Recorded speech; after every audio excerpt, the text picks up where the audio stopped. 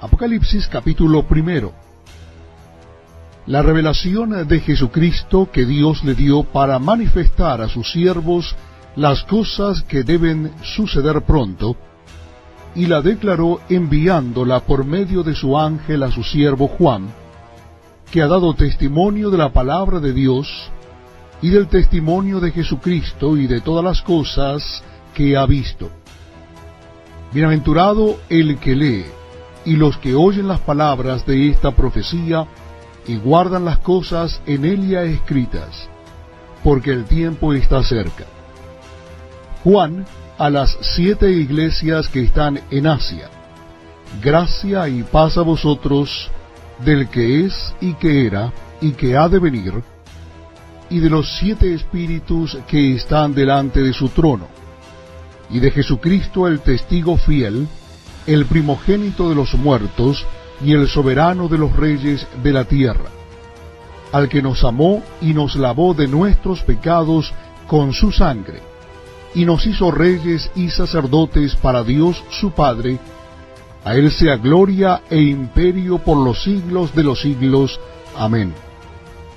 He aquí que viene con las nubes, y todo ojo le verá y los que le traspasaron y todos los linajes de la tierra harán lamentación por él. Sí, amén. Yo soy el alfa y la omega, principio y fin, dice el Señor, el que es y que era y que ha de venir, el Todopoderoso. Yo Juan, vuestro hermano y copartícipe vuestro en la tribulación, en el reino y en la paciencia de Jesucristo, estaba en la isla llamada Patmos por causa de la palabra de Dios y el testimonio de Jesucristo. Yo estaba en el Espíritu en el día del Señor y oí detrás de mí una gran voz como de trompeta que decía, Yo soy el Alfa y la Omega, el primero y el último.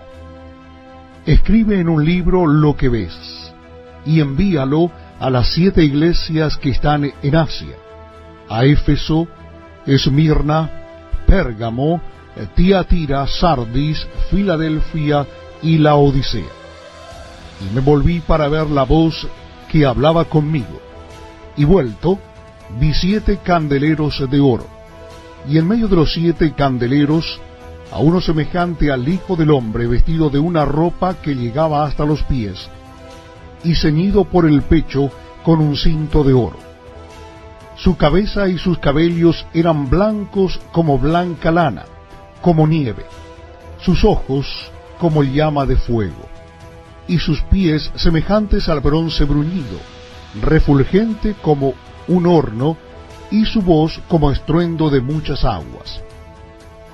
Tenía en su diestra siete estrellas, de su boca salía una espada aguda de dos filos, y su rostro era como el sol cuando resplandece en su fuerza. Cuando le vi caí como muerto a sus pies, y él puso su diestra sobre mí, diciéndome, No temas, yo soy el primero y el último, y el que vivo y estuve muerto. Mas he aquí que vivo por los siglos de los siglos. Amén y tengo las llaves de la muerte y del Hades. Escribe las cosas que has visto y las que son, y las que han de ser después de estas. El misterio de las siete estrellas que has visto en mi diestra, y de los siete candeleros de oro. Las siete estrellas son los ángeles de las siete iglesias, y los siete candeleros que has visto son las siete iglesias.